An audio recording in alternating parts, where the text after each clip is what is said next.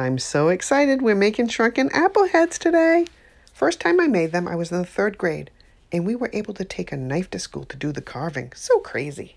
And here's what we'll need for supplies. Apples, carving tools, lemons, rice, and toothpicks. Here's one my kids made when they were little. It lasted two years, got a little dusty, and I had to toss it in the trash. I think the pumpkin carving tools will work just fine. But for the older kids, if you think they're ready, they could use a paring knife for details.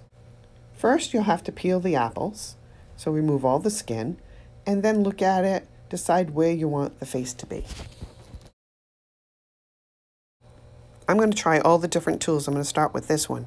It has a nice little point, and you can just make some little wrinkles in the forehead and then push out to make the line a little thick. This tool works pretty good. I think the younger kids are going to have fun. And they can do it just like they're carving a pumpkin too. Just holes for the eyes, small holes for the nose, and a slit for the mouth. The apple's totally going to shrink up. Okay, let me try one of these other tools. I'm going to make the nose, make two lines, and then remove some of the apple flesh so that the nose sticks out a little bit. Yeah, this tool will work pretty good. Now I'm going to use the um, paring knife. Let's see how that works. Paring knives are pretty sharp, so go over knife safety with your child if you decide to let them use it. And you slide down and bring it right across to that slit and then just pop it out. Kind of like when I did the um, apple prints. You're just popping out the wedge.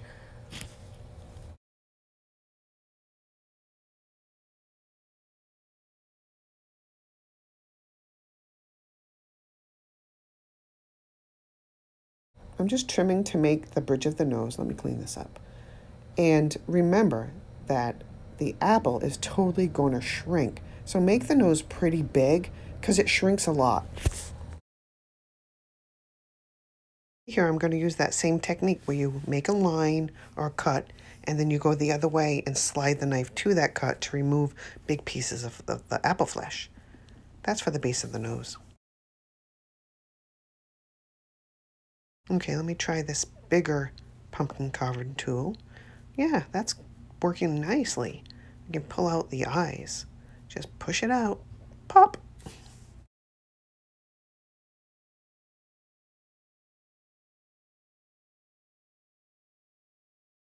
You can make one deep set, one shallow, or both shallow, or both deep. You'll never know what it's going to look like until it's all dried up and shriveled. A little shrunken apple head. I'm going to use the um, paring knife to do some details underneath and put some wrinkles under the eyes.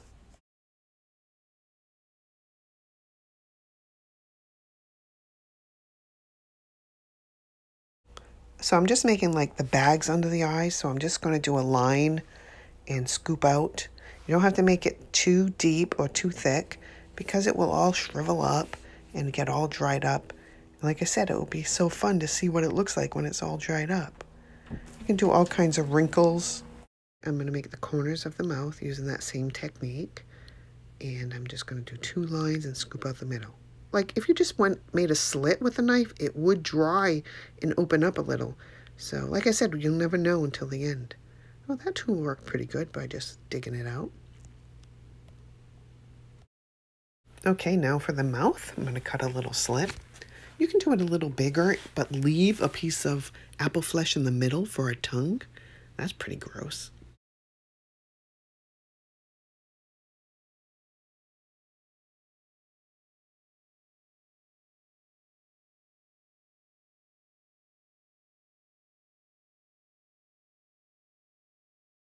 Hmm, I think you need some cheekbones. So I'm going to do a line and then another line uh, just, you know, same technique, pushing the knife from one line to the other and popping out the wedge. Let's see if I can do the other cheekbone with this saw, a pumpkin saw. Oh yeah, that's not bad. Apples are so soft. The only thing is, yep, I think, oh, wait a minute, let me get this out. See how there's some um, mushy applesauce flesh there? Scoop it out. Don't leave it on there. Make it clean.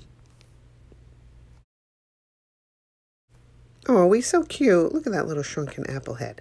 Next, we have to dip him in some lemon juice. Yay!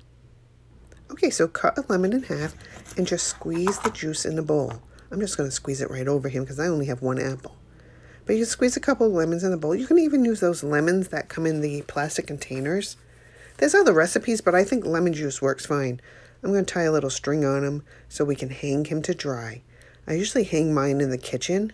I hang him over the window in a nice, dry, bright place. That way, he'll dry out and not get moldy. Oh no, I forgot to put the teeth. So I'm going to use the toothpick to put some holes and then push the rice right in those holes. Oh my goodness.